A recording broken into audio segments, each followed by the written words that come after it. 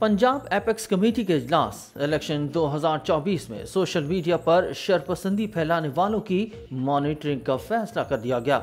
8 फरवरी को पुरअमन आम इंतबात का इनका यकीनी बनाने के लिए वज़ीर अला पंजाब मोहसिन नकवी और core commander Lahore lieutenant general Syed Amir Raza की जेर सदारत पंजाब एपिक्स कमेटी का इजलास हुआ, जिसमें तीन दर्जाती सिक्योरिटी और दीगर उमूर पर अहम फैसले किए गए।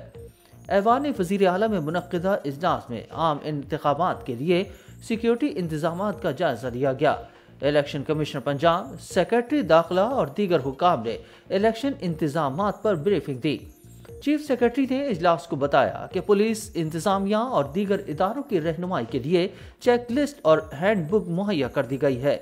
इजलास में बैलेट, पेपर्स की महफूज नकल हमल के लिए पुलिस, रेंजर्स और फौज के दस्तों की तीन दर्जाती तैनाती, पोलिंग स्टेशन की सिक्योरिटी, सीसीटीवी कैमरों की तंजीम कंट्रोल रूम्स और दीगर उमूर पर गौर किया गया। इजलास में फैसला किया गया कि इलेक्शन कमीशन के जबता इखलाक इलेक्शन डे पर असलहे की नुमाइश और नकलो हमल की पाबंदी पर सख्ती से अमल दरामद कराया जाएगा। सोशल मीडिया पर शराबगेजी फैलाने वाले अनासर की मॉनिटरिंग की जाएगी और गैरिजन एरियाज़ में सियासी जलसे, जुलूस और झंडे और बैनर्स लगाने की इजाज़त नहीं होगी। निगरा वज़ीर आला मोहसिन नकवी ने कहा कि वोटर्स को पुरअमन माहौल में हक राय दही इस्तेमाल करने का मौका फराहम करने के लिए तमाम इकदाम बरुए लाएँगे।